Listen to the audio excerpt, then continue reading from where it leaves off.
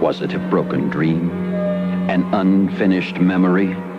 What terrible secret drew Susan to the mausoleum?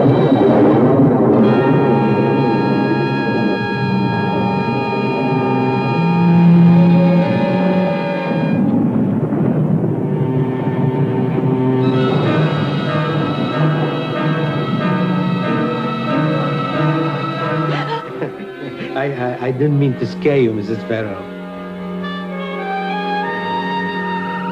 Right, go the other way, go the other way. Push that door open. Come on. She gave her soul to the evil force in the mausoleum. What's the matter, Susan? What in the crook's name is... Oh, my God!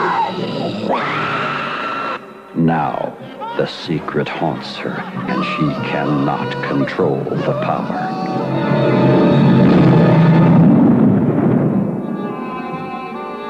There's some strange shit going on in this house.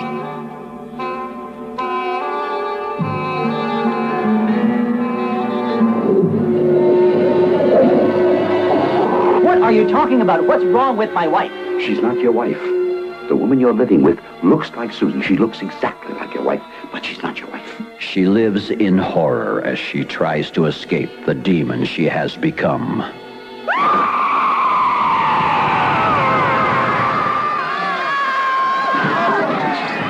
Obviously, we're not going to be able to confine her. What do you suggest? Go to the mausoleum tonight. A new dimension in fright, an experience of untold terror. It's the table! I am going to finish what your father died trying to do! Are you brave enough to enter the mausoleum?